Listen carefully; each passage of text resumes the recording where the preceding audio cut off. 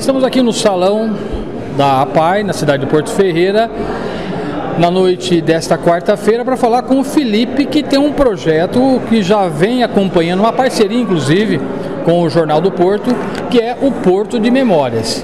E nesta data, o lançamento oficial do site desse projeto. É isso, Felipe?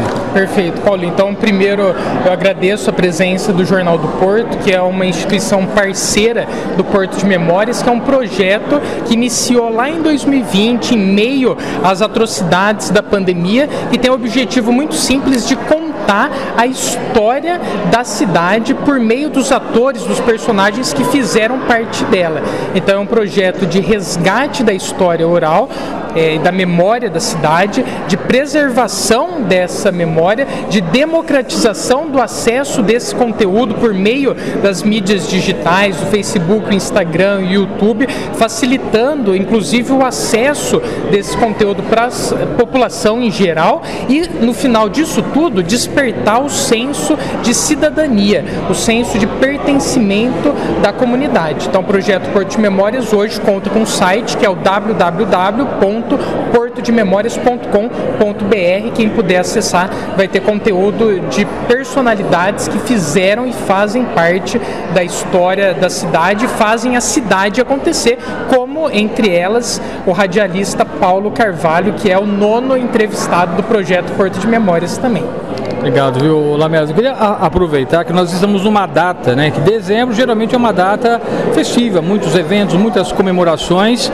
A, a, data escolhida, logicamente, que coincide com tantas outras, mas eu quero parabenizar a, a ousadia, a coragem do jornalista. É, por conta, a gente está vendo aqui o, o, o, plenário praticamente lotado, né, pessoas, porque depositaram a confiança no seu trabalho. Então, quero parabenizar e que esse projeto realmente perdure, assim como essa parceria com o Jornal do Porto. Afinal de contas, estamos aí na imprensa escrita, hoje também temos os canais. E eu acho que isso é importante. Você que é jornalista, eu queria que você sintetizasse isso, a importância dos veículos de comunicação para a preservação do patrimônio cultural. Perfeito. É, um dos entrevistados, que é o senhor Dalci Melari, que é o primeiro entrevistado, ele fala que a cidade que não tem jornal não tem história. Então, o jornalismo, o rádio, o jornal impresso, as mídias digitais cumprem esse papel na preservação do passado e, mais do que isso, também é, nos informando no dia a dia para que a gente possa definir os rumos da nossa sociedade.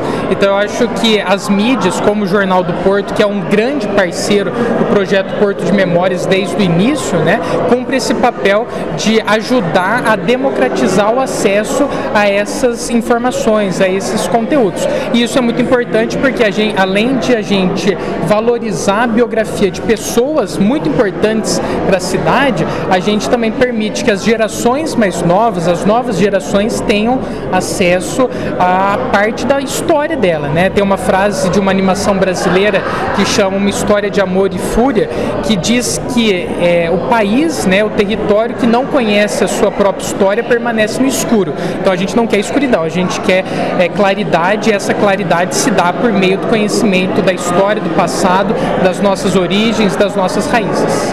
Falando em claridade, para você que nos acompanha, mais uma luz se acende: Lord.